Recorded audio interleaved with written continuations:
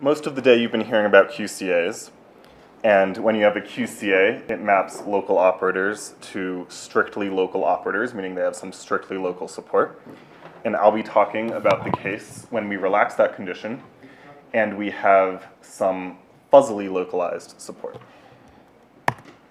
Um, please ask questions. Everyone says that, but to convince you that I'm serious, I have two example questions. If you're a mathematician, you could ask, what's the Heisenberg picture, if I use those words. Or if you're a physicist, you could ask, what's the operator norm? Those are just two examples. Yeah, yeah. Any, anyone can ask anything. So first I'll review QCAs a little bit, just in case, uh, I know repetition helps if it's a new concept. And then I'll try to convince you to think about approximate locality. Actually, I'll start by trying to convince you a little bit right now. So I'll talk about how uh, physical Hamiltonian evolution leads to this fuzzy light cone that requires this approximate notion of locality. But I want to suggest that even more generally, techniques like I'm going to talk about for taking fuzzy locality and making it strict, I have some hope that they could be more broadly applicable because often in these problems on lattices, we have, it's easier when we have, say, zero correlation length or an exact light cone. Whereas when, whereas more naturally, we're gonna have some non-zero correlation length or some fuzzy light cone. And if we had some sort of general toolbox for taking these fuzzy things and sharpening them, that could be good for solving problems. So I'll also teach you a tiny bit of operator algebra if you don't know. The main goal would be to understand the index theory of approximate QCAs in 1D. And then I'd be especially happy if anyone has ideas for how to talk about higher dimensions or uh, I'll, I'll list some more open problems as I go along.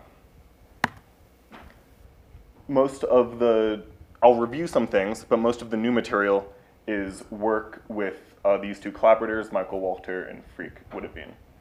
And we, I'll also be talking about the original GNVW index written by the GNVW authors. And we're also helped out a lot by this paper on perturbations of operator algebras, which is by Erik Christensen. It's a paper from the 1980s, and he's a Danish mathematician. A quick summary of the questions and answers. So the physics question that I want to ask is just, are local dynamics generated by local Hamiltonians? And I'll be a little bit more precise about what that means. And then the sort of straightforward mathematical physics question is just, can we, can we classify approximate QCAs? And so far what we can do is we can approximate 1D QCAs. And the punchline I'll tell you already is it turns out that this classification very closely resembles the strict case classification. So I'll talk to you about an index, which is basically just the GNVW index, but upgraded to deal with these tails. And the good news, if you think it's good, is that this classification is robust and it holds up in the fuzzy case. I mean, maybe it would have been fun to see that it broke down or to come up with a new classification. On the other hand, it's also sort of nice that it was robust. And then, like I said, uh, higher dimensions are still an open question. The setup, like it was for a lot of today, is some Hilbert space, which is a tensor product of local Hilbert spaces. They'll be finite dimensional. They don't all need to be the same dimension. And then for the next few slides, I'll be talking about Hamiltonian evolution it'll be very familiar to all the physicists, but I'm going to have a local Hamiltonian, so like a nearest neighbor Hamiltonian on a spin chain. In case these words passed you by, a local operator, to be totally clear, is an operator like this where it's the identity everywhere except for some handful of sites. And then the support of the operator refers to the sites on which the operator is not the identity. So in this little example, the support of this operator A would be this site I. Now, what happens when we evolve an operator with a local Hamiltonian? Well, let's say we start with this operator A that's localized to a single site. Here, and then times in the vertical axis, we choose some fixed time interval t0, and then we evolve it, which means we conjugate the operator by this e to the iht. That's what evolution of an operator means to physicists. And then what happens generally is the support grows a little bit. And then you evolve it more in time, you conjugate it again, and the, and the support grows more. And this growing support of the operator in time, we often call the light cone. Basically because it's evocative in special relativity of how light goes out in a cone. Now, the main point of this is that I actually lied to you a little bit. It's just an approximate light cone when you're on a lattice with a local Hamiltonian. So the operator A at time t is not quite localized within this cone. It actually has these fuzzy tails, or this approximate locality, so it bleeds out of the cone a little bit. And this bleeding out of the cone is quantified by Lieb-Robinson bounds that I think a bunch of you know, but some of you probably don't. And these just quantify this approximate light cone. And schematically, it's telling you that when you have local interactions, then you're going to get an approximate light cone, like I was just saying. And one of the points I want to convey to you is that you can ask about the converse. You can say, if I have dynamics that are unitary, and they have some approximate light cone, then the converse question would be to ask, are these dynamics generated by a local Hamiltonian? So this question I'll answer in 1D at least. And then it should be sort of obvious that this will, of course, also be related to QCAs and approximate QCAs.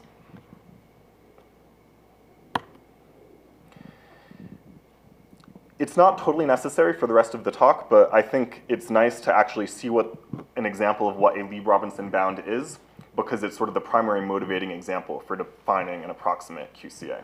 So here I'll give you a, a statement of the Lieb-Robinson bounds. So we'll be working with a 1D local lattice Hamiltonian. And the statement will roughly be that if we look at this operator here, it should be contained within the light cone, and the light cone should be diameter vt, where v is some velocity. And what that means for it to be approximately contained within the light cone is that there should be some other operator, a twiddle, which is like a truncated version of our operator. And if we truncate it to a region R that's bigger, that's bigger than the light cone, it should be a good approximation.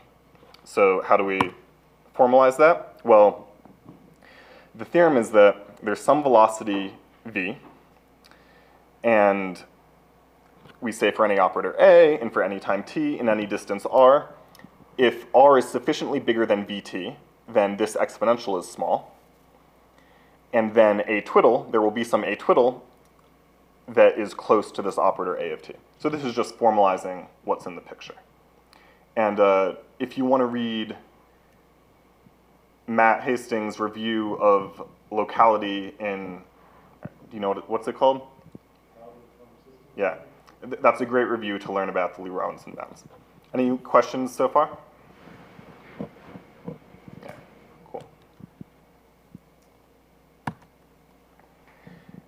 Okay, so the point is that strict QCAs are not enough to tackle physical problems, and we've already basically seen why. The QCA maps local operators to strictly local operators, but let's say we take a local Hamiltonian, we fix a time t, and we consider this map that maps x to the conjugated x. And like we just saw, it's not going to be quite local, or at least it doesn't need to be. Lieb-Robinson bounds allow it to bleed outside of some uh, local region. So we want a notion of QCA that is more relaxed. Okay, now I'll talk a tiny bit about operator algebras and QCAs and define approximate QCAs. And I'll even start, okay, I guess I'll start by just reminding you what a C-star algebra is. The, the sort of topological details and the infinite dimensional stuff, it's not going to matter that much. This work that I'm talking about, it is rigorously proven on infinite lattices, and if you like that stuff, then feel free to talk to me about it, but I'll just be giving the high level gloss here. So a C-star algebra, it's just a subset of linear operators on a Hilbert space, and it's an algebra, and it's also closed under the Hermitian adjoint, or the star. And then there's also an abstract definition of this that doesn't require it to be represented on a Hilbert space, and I won't go through that, but the nice thing to remember is just that when you work with these abstract algebras, you don't need to worry, you don't need to think about the fact that the operators are acting on a vector space, and sometimes that's just nice from a practical point of view.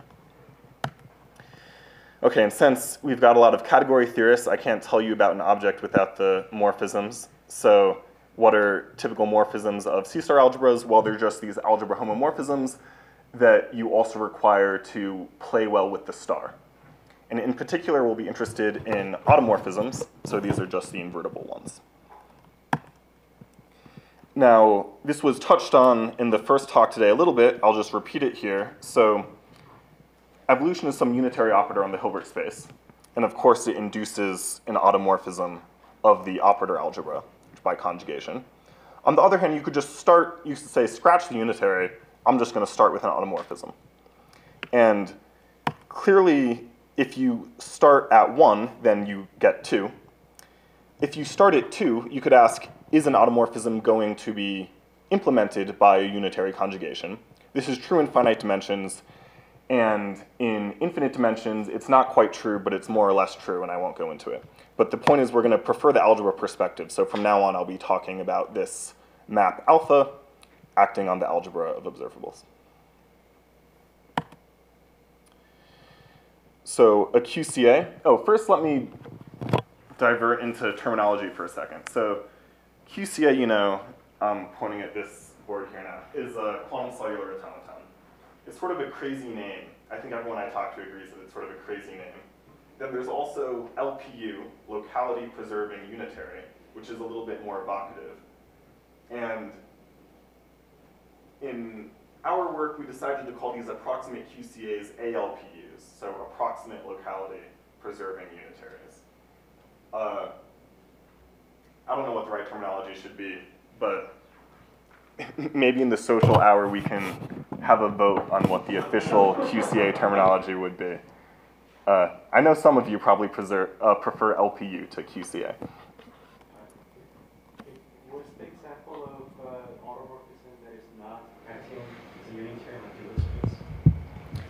Oh, so so what I just mean is that if you start with this abstract algebra of, it depends which algebra you build, but if you build like the C-star, the quasi-local C-star algebra, and you just consider the shift automorphism, then that won't be implemented by a unitary in that C-star algebra. You could represent it on a Hilbert space and then find a unitary that, yeah. So you find a state that's invariant under this automorphism, then the GNS representation has this unit. Yeah, you, you could do that. Or just, you wouldn't even need to pick your state post hoc. You could just pick the tracial state and look at that GNS representation, and your unitary would be in the Hilbert space, or would act on the Hilbert space. But, uh, But that's the quasi-local algebra has a tracial space. Some, some, Mhm. um, some algebra don't have a oh great, yeah, I'll just be talking about the quasi-local algebra. Yeah. But either way, uh, I'm not going to dwell on that. Okay, but what is a QCA? We've already seen, but we're going to consider this algebra, which is a tensor product of all of the algebras on each site. All of these local algebras are just these matrix algebras. And then what is in QCA or an LPU? Well, it's just this operator that preserves locality. So it has some finite range R, and when it acts on A, it'll expand A like this. Um, these diagrams that I draw are important to understand for the rest of the talk, so let me just be clear on what this is. It looks like there's two spin chains. Really, there's just one spin chain at the input and one spin chain at the output, and I'm just drawing the map alpha going upwards. Uh, so, you know, you have this operator A on this bottom region, and then you map it, and it ends up being supported on this top region. So hopefully that's a straightforward picture. And two great examples that you've been hearing about are circuits or shifts. These are both QCAs. And in fact, you already learned the GNVW classification, which to remind you says that these are basically the only two examples of 1D QCAs, which is to say that all 1D QCAs are compositions of circuits and shifts. But it's also good to remember the shift cannot be achieved by a circuit. And when we talk about classifying QCAs, at least in this one-dimensional context, or I guess in any context, we're going to be talking about classifying QC, the, the group of QCAs modulo circuits.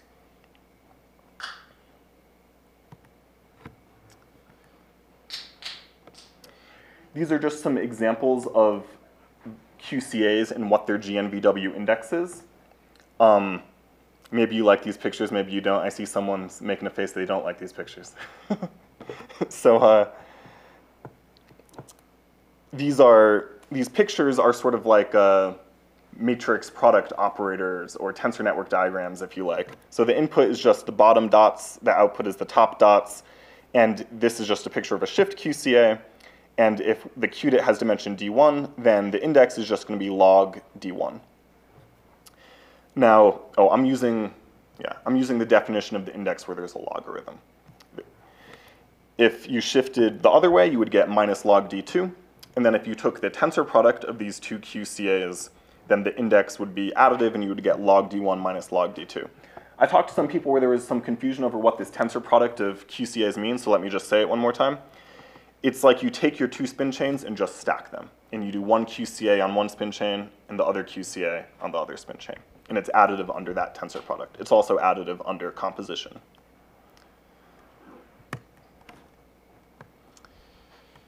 Okay, and morally you can think of the index as the amount of information flowing right minus the amount of information flowing left.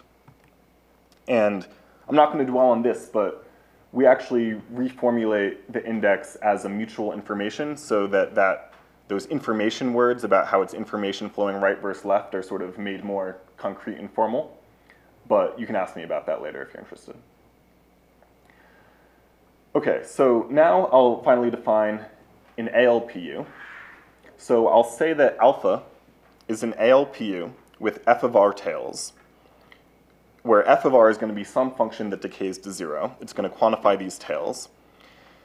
And the condition is going to be that when I take A, and then I look at alpha of A, which bleeds everywhere on the spin chain, that's sort of gruesome. It leaks everywhere on the spin chain and then we want to ask how well can we approximate it when we restrict it to some neighborhood of radius r around the original support.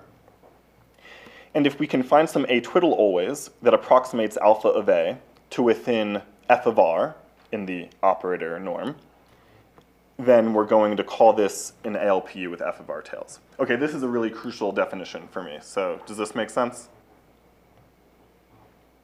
Yep. Uh, what, do you require anything on F, or are there conditions?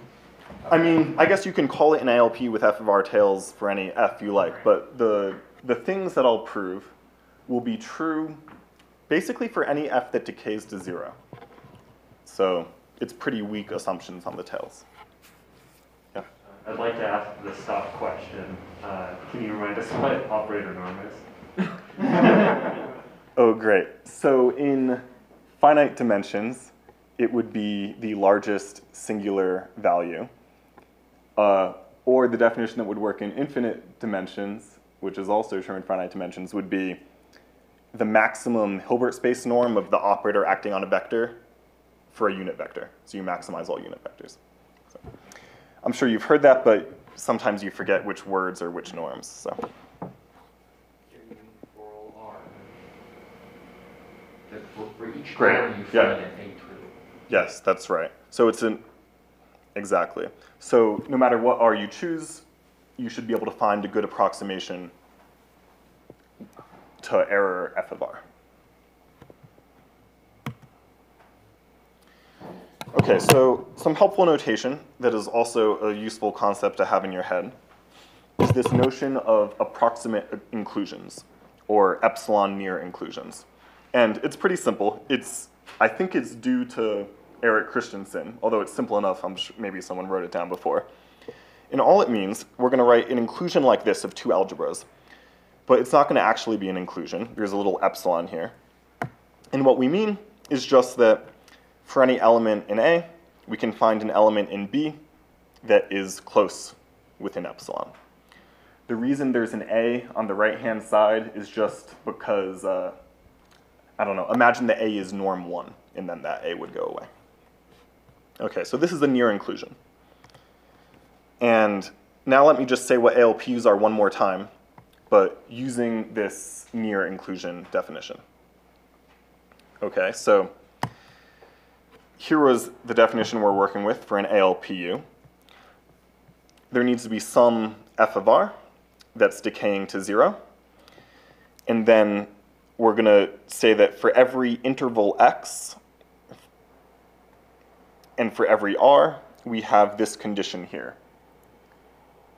So this condition is just telling you that the image of the algebra on X is contained within a ball of radius R, and it's an epsilon inclusion.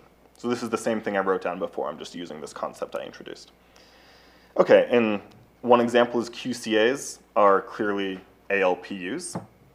Another example of an ALPU is Hamiltonian evolution, and the reason that it's an ALPU is because of the Lieb-Robinson bounds that I wrote down for you before. So the natural question to ask is, are these the only ALPUs? And the punchline again is that, yes, that will be the case in 1D, and we still don't know for higher dimensions. Any questions so far? Great. So like I said, we want to classify the space of ALPUs modulo local Hamiltonian evolution. Or at least that seemed to us like the most natural thing to ask. Okay, so why is it not obvious? I mean, maybe you thought it was obvious what the answer was going to be. But uh, the GNVW index is only for these exact, uh, these exact locality conditions. And you might think, isn't it going to be sort of obvious or easy once we add some epsilons? And I don't have like a deep reason why it was actually hard, but maybe one reason is that the GNVW proof uses all these tools about algebras, and for instance, it talks about the algebra generated by some operators. But if I take, let's say I take uh, two operators and ask about the algebra they generate on a Hilbert space, and let's say they generate some proper subalgebra. If I now take those two operators and perturb them with a tiny bit of random operator in random direction. So I have two very slightly different operators. Generically, they now generate the whole algebra on the Hilbert space. So the notion of how big an algebra do you generate is very is just infinitely brittle under perturbations. So that's why at least the techniques that they used in their paper weren't going to immediately work. Um, yeah, and the, the GNVW index has been, the argument for it was sort of reframed in uh, Hastings and Freedman, and then again in Haah's paper. But those arguments also, they're sort of more natural, but they're still sort of brittle in this way, where it's not obvious what happens when you add a little bit of noise. Okay, and then a question that we had was, should the index still be quantized when there's these tails? Because was there a question? No. Because um, the quantization of the index has to do with the fact that you've got, yeah, what I shouldn't have gone back. It has to do with the fact that you transfer a qubit or a qutrit, and then that gives you a 2 or a 3. And if instead these qubits aren't being sort of directly translated, but they're sort of leaking out over the whole chain, you might wonder whether there's actually still some uh, integers involved or not. And it turns out that there are, but it sort of wasn't obvious from the get-go. I'll mention one more upshot of all of this is um, maybe if you're a physicist, you've wondered before, can we write down a momentum density on the lattice? So what do I mean by that? So you know the Hamiltonian is like a is like an energy density. All the local terms are like an energy density and they generate time translations. A momentum density on the lattice should be a local operator, so a sum of local terms, that, sorry, when I say local operator, usually I mean supported on a single region, but when physicists talk about like a Hamiltonian being a local operator or a momentum density being a local operator, they mean a sum of local terms. Anyway, so you might wonder, is there a sum of local terms that generates translations? And from the GNVW result, you might have thought, probably not, because circuits can't generate translations, but it, it wasn't clear whether Hamiltonian evolution could generate a translation. But it turns out that that also cannot generate a translation. Okay, and one more motivation is it would be nice if we could take these results about the stability of chiral many-body localized Floquet phases that you heard about earlier today and turn those into some rigorous math theorems. And you basically can using the results I'm talking about, but there's some, we're a little bit short of applying it to the edge of a 2D bulk. So that's something that someone could work on in the future. Okay, so like I was saying, the classification turns out pretty much the same. So you do 1D ALPUs modulo time-dependent quasi-local Hamiltonians, and that gives the same index theory. And I'll just say a little more on this result. So not only are they characterized by this quantized index, but you can take any ALPU and approximate it with a sequence of QCAs. That's actually basically the proof method that I'll talk about. And every ALPU will be the composition of a time-dependent local Hamiltonian with a shift. The time dependence of the local Hamiltonian is actually necessary. You couldn't get away with just a, a time-independent local Hamiltonian, and that's due to some, some results fairly recently by others where they realized that you couldn't do this with a time-independent Hamiltonian. Now for the finite open chain, so what I've been talking about is an infinite chain. So we're talking about the integers, say, as our lattice. If instead you restrict to an interval, then the index is going to end up being zero, which means that any ALPU on an interval will be generated by some Hamiltonian.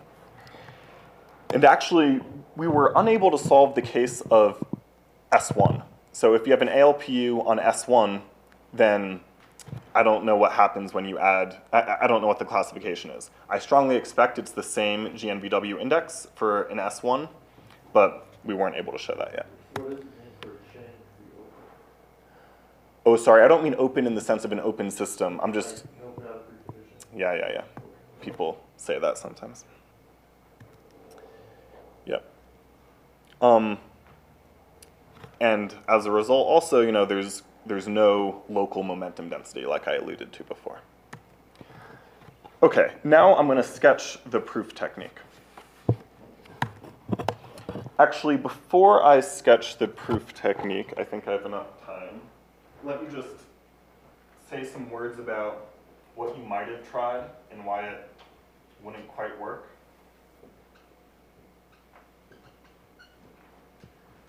So here's our lattice.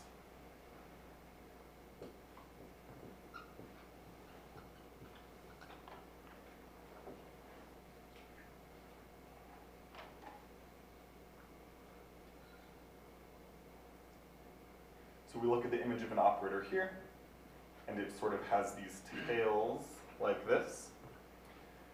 And you might have said, okay, well, let's just truncate the operator. Because by definition, we have these good truncations that are good approximations of the operator. So we take A, we take alpha of A, and then we truncate it to some A twiddle that is perfectly supported on some region. So let's just say we truncate everything. So what goes wrong? Well, our map is now local, but it's no longer an algebra automorphism. Because when you truncate these tails, they no longer satisfy the multiplicative property. And you might try to directly repair this multiplicative property because there is some literature that goes under the name of Ulam stability where you have a morphism of some algebraic object and the target is some metric space. And instead of being an exact morphism, it's actually a morphism up to some epsilon. So people consider this type of problem. And then they ask, can we slightly deform this map to make it an actual morphism? And in many cases, you're able to do that. Um, in this case here, if you cut off the tails, and then you have this approximate homomorphism, you could deform it to get it to be an exact homomorphism, but it would only be for this region here. And then if you did it separately for a region over here, so now I take this algebra and I, or let me say instead, I take this algebra now, I take this algebra and I look at its image and it has some tails and I cut off those tails and then I look at this approximate homomorphism and then I also deform that to make it a mm. homomorphism. The issue will be is that these images of these two different regions won't commute. So even though I had a nice homomorphism here and a nice homomorphism here, I won't have a homomorphism for the whole chain if I use that sort of strategy. Anyway, I just wanted to run through that because these, these Ulam stability ideas are pretty cool if you haven't heard of them before, but that's not a proof method that we were able to get directly to work.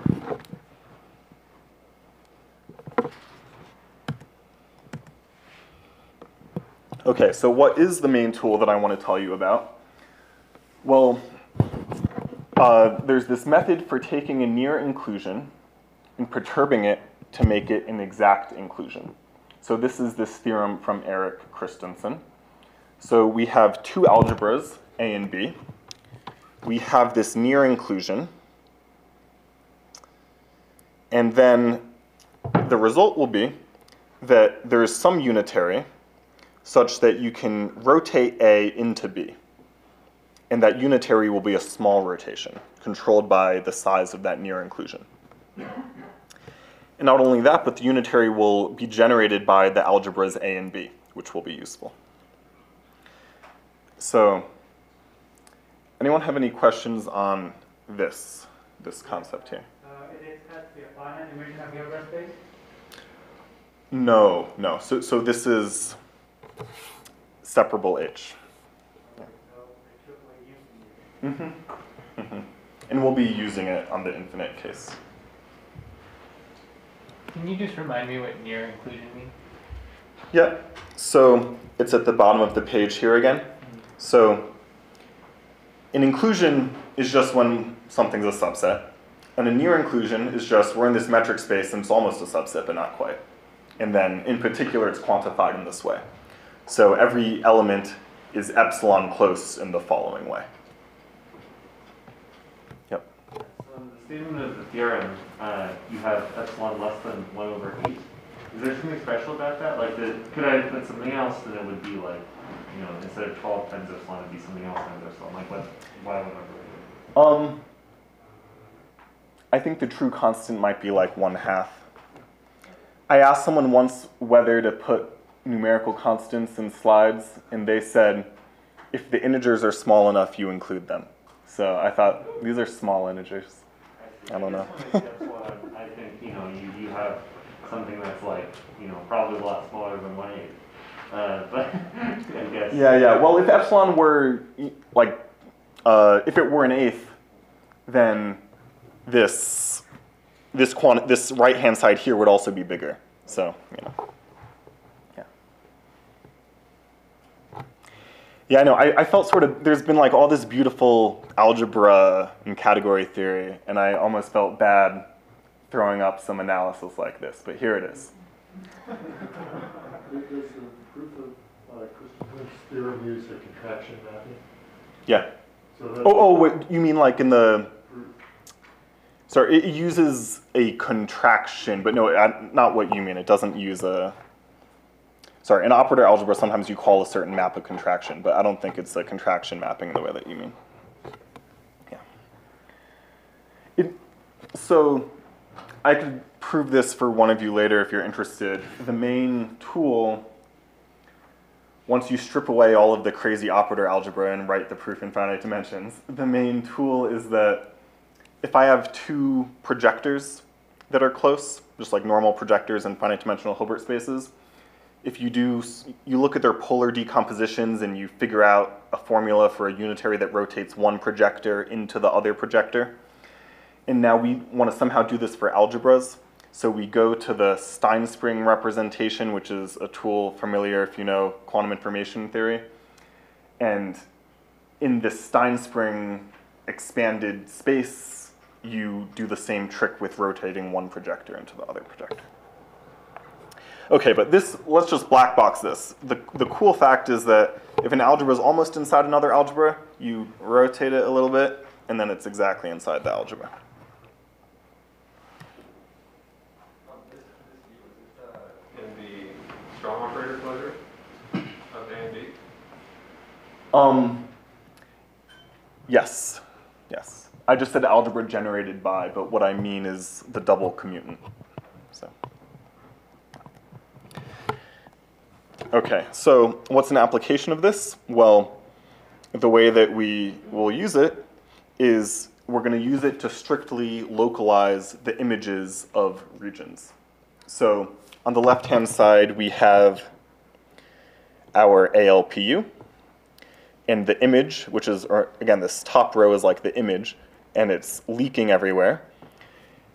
But by our definition of the ALPU, it's the image is going to be appro- the image algebra here is going to be approximately contained within some algebra in this ball, the algebra of operators on this ball. So just directly from this perturbation of the operator algebra result, that means that you can slightly rotate the image and then get it to be exactly localized. So to be totally concrete, we apply this theorem, we find some unitary u that rotates the image into its exactly localized algebra. We take our ALPU, or our approximate QCA, we compose it with this unitary conjugation, and now we get a new ALPU, which it's not a QCA yet. In fact, there's a lot more work to do, but we did one thing, which is we took the image of this region and we managed to localize it. Uh, yeah, any questions on that? I'll pause for a second. Is it obvious that the U being close to identity implies that it is not preserving? Oh, so so the U being close to the identity isn't what tells you that. That's not what tells you that the image of this region is now exactly localized. That just follows from the from the assumption from the result that Right. U is going to exactly put you into B. I guess my question is, you know, what happens to the other side of your Oh, great. So because U is close to the identity, uh-huh. then not too much can happen on the rest of the chain. And you might even further want to know that when you look really far away on the chain, that nothing, that the, that how much is happening over here is decaying like your tails on your ALPU. So we prove some corollaries to Christensen's theorem that show that as well. So the point is that we localize this region, and if we have exponential tails on our ALPU, if you look far away, then exponentially nothing has happened. Uh, does that make sense? No? yeah, feel free to ask later or more. Uh, may- maybe to, maybe I'll try one, I don't know if this is answering your question, but if U is close to the identity, then this new ALPU, alpha twiddle, is close to alpha, of course, so.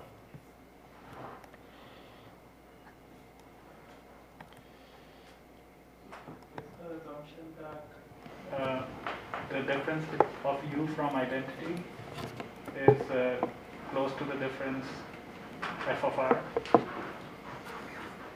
Or is much smaller than that difference of? Basically, you could think about it like that. It's not quite written on this slide, and I won't quite go into it now, but you, so U as an operator is actually still epsilon far from the identity. It's not going to be much closer because it really does need to localize all of this. So it can't be too small because it really needs to cut off those tails. But the point is that when it acts via conjugation on stuff that was really far over here, it's going to do almost nothing.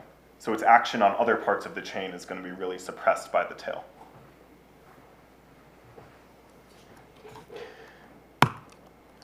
Okay, so I'll finish the proof sketch in the next five or 10 minutes, which is what I have, and I think hopefully you'll be sort of able to see how the pictures go. And what we'll do is we'll try to approximate the ALPU with the QCA. And the way we'll try to do that is by taking all of these leaky tails and rotating them into themselves, rotating them smaller, and doing it in a way that we still have an algebra homomorphism. because if we contract these tails and then we contract these tails, we need to sort of do it in such a way that the tail, the, the images of the two regions still commute, so we still have a homomorphism. So that's what I'm showing you on this slide. So this slide is actually the entirety of the proof sketch, and let me explain this for a few minutes now. So at the top of the screen, we have our original ALPU. And these, this yellow bar here is just denoting a unitary that we're going to compose the ALPU with as our first step. And then on the right-hand side, what I've drawn is the effect of applying this unitary. So this trapezoid notation means that, let me change my pen.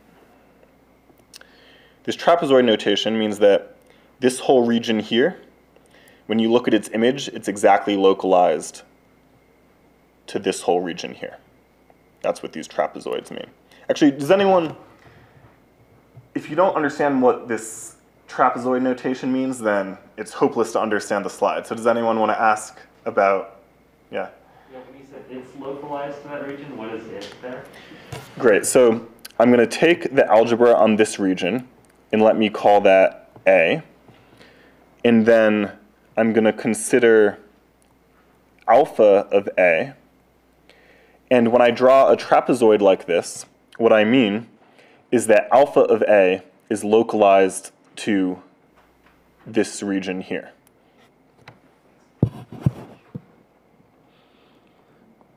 There is implicitly somewhere off the slide the other side of the trapezoid as well, or are you doing So- this so- so this- system and half? This, uh, yeah, I'm doing this on a whole half, on a semi-infinite half of the system. So after this first step, what's going to happen is a whole half chain is going to be localized. So let me explain how you do that.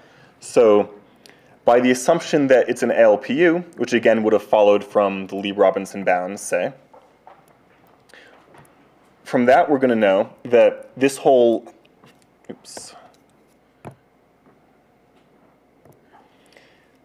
This whole half chain in the input, its image is going to be leaked over the whole chain, but it's going to be approximately contained within this region here.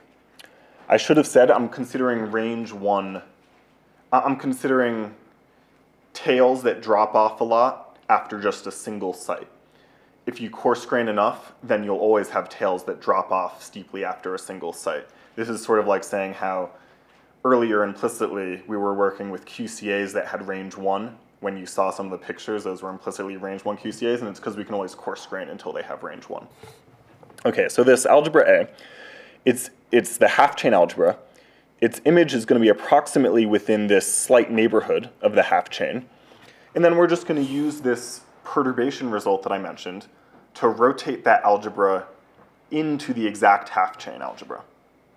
So this bar means that we're doing a unitary on the whole chain, and we're gonna we're gonna compose with alpha, and then after we're gonna get this slightly modified ALPU that has this localization property of the half chain.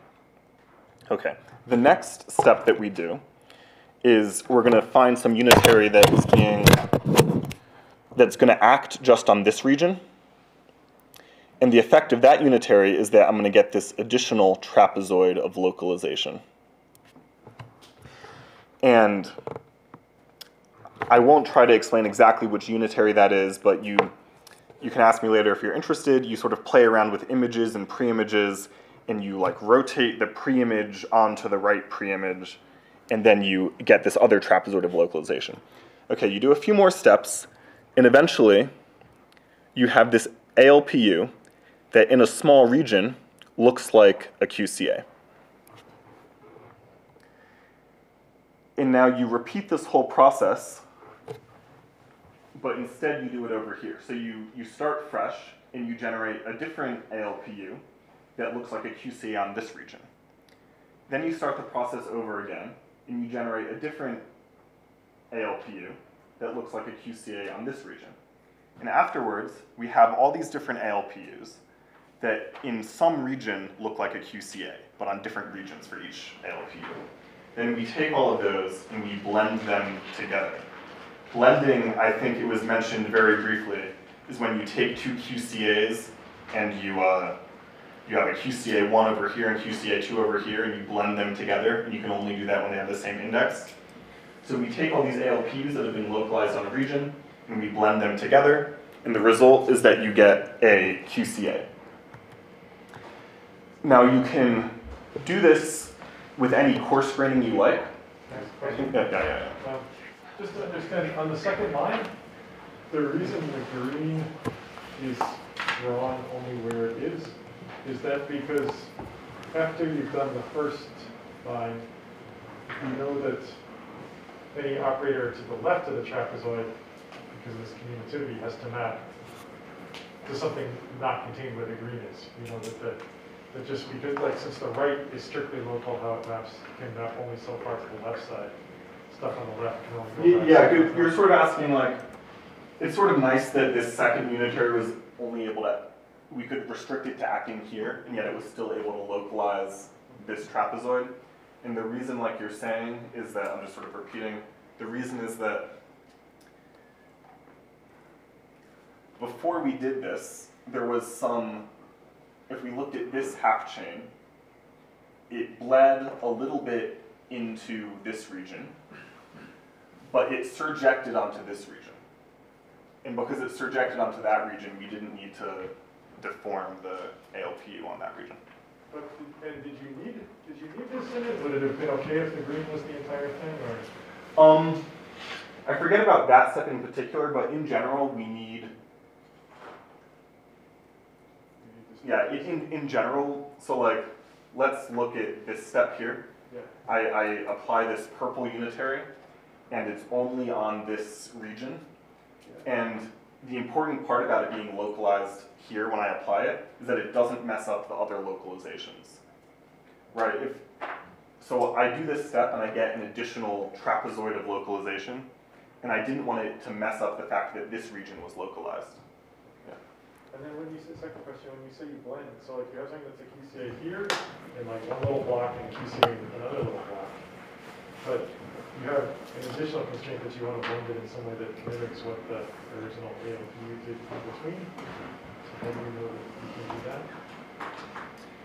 Yeah, so you have this QCA, you have an, yeah, you have a ALP that looks like a QCA in this region, and then a different ALP that looks like a QCA on this overlapping region. And it just turns out that you're able, to, since they sort of agree on their overlap, regions overlap on different Yeah, exactly. Okay, Sorry, I thought it was one ALPU Right. multiple so you, yeah, you repeat the procedure on overlapping regions. And since they agree on their overlap approximately, the blend is small. So I guess this, uh, you're using something about that you, you're working on infinite line rather than on a circle. Yeah. What's that? It's sort of apparent in the first step already.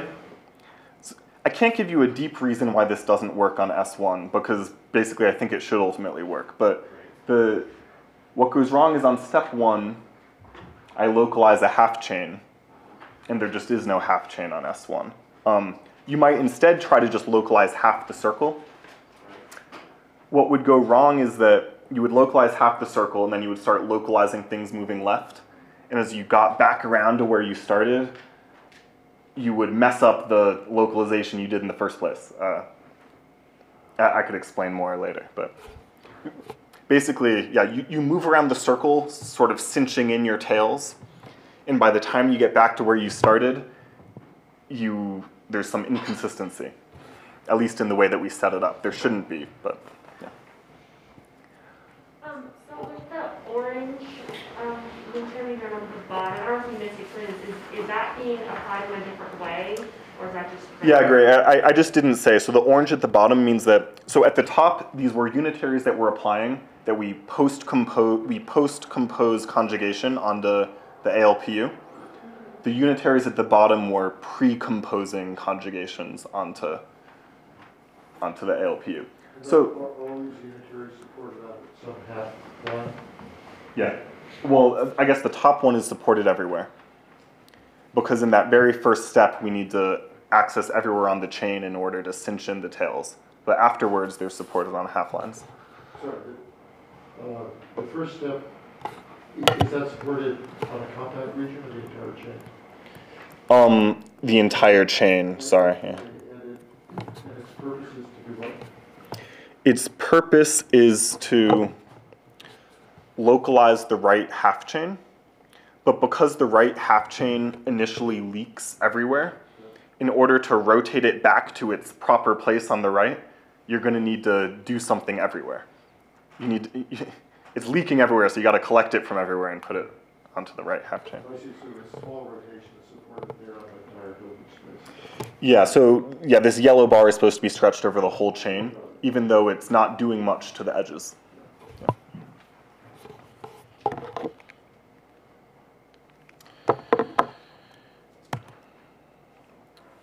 So the upshot of all of this is that I mentioned there was this definition of the GNVW index that used mutual information. I didn't exactly tell you how it worked. I just said there's this definition using mutual information. And it turns out that that exact same definition using mutual information will work in the infinite chain with these leaky tails, and it will give you um, an integer, or you know, a, a difference of logs of integers, if we're working with the logarithmic definition of the index. So it gives you this discrete index even on the infinite chain. And maybe one way to see that is that we're approximating this ALPU with QCAs, and like I was starting to say before, if I, so I do this whole process, I get a QCA. It has some error. If I instead coarse grain the, the ALPU, and then I try to get a QCA out of it, when I coarse grain, the tails are now smaller, because I coarse grained. So there's less error in this construction. So now I have a better QCA approximation that is long, longer range. So basically, I keep increasing my range that I allow myself, and I keep getting better and better QCA approximations. And for each of those QCAs, the index is discrete. And then it turns out that the index also then ends up being discrete for the full ALPU because the index is sufficiently continuous with respect to changing the, the ALPU. So by, so I say it's continuous, well, it's discrete, but that means that it's not going to change as I change my ALPU. And th that continuity of the index, one way to think about it is that it comes from continuity bounds that you have on mutual information that people know about. So by expressing this index as a mutual information, it gives you a good estimate of how much the index is allowed to change when you change the underlying QCA or ALPU.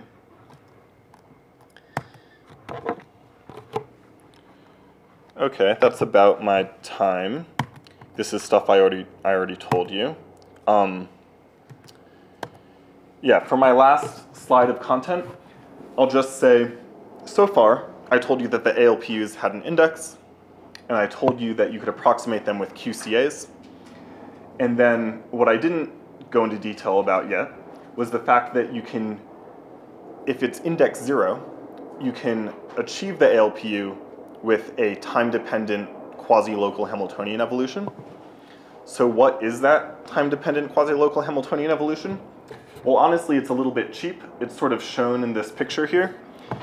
You take the you take the QCA. You take a sorry. You approximate your ALPU by a QCA, and then you implement that, and then that QCA is index zero if we're working with an index zero ALPU. So it's really a circuit. So then you implement this circuit using Hamiltonian time evolution.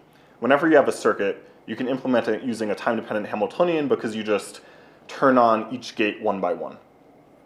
Okay, so now we approximated the ALPU with a Hamiltonian. We didn't get there yet.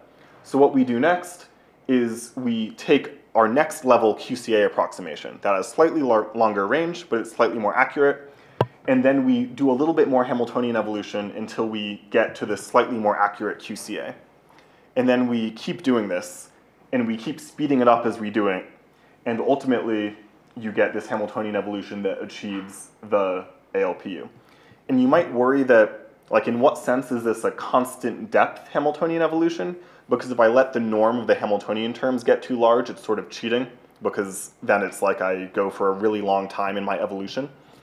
But there's also uh, good behavior on the norms of the Hamiltonian. So you have this, this bounded Hamiltonian, uniformly bounded terms, and we evolve for a finite time, and we get the ALPU. So that's the sort of result that you would hope for. So, so basically FR has to grow faster than, I mean, it has to decay faster than log grows, or something like Yeah, yeah. So I, I told you that the tails could decay any way you wanted. Th- that is true, except for this result. When you do Hamiltonian evolution, it needs to go like 1 over log r, which not too bad. Yep. Uh, I I think maybe I just don't understand the picture, but does it, it seems like the, um, the Hamiltonian terms are somehow getting more and more non-local. They are getting more and more non-local, but they're also getting smaller and smaller. So as time goes on, the range of the Hamiltonian we're using increases, but we're only doing a tiny bit of evolution. So it's fair to say that this is a quasi-local Hamiltonian evolution. And what does quasi-local Hamiltonian mean? It means that you're allowed arbitrarily long-range terms, but the terms can't be too big. So, so that's what we have. We have sort of a uniformly quasi-local Hamiltonian evolution that depends on time. Okay, I'll take any other questions. I think I'm done now. So.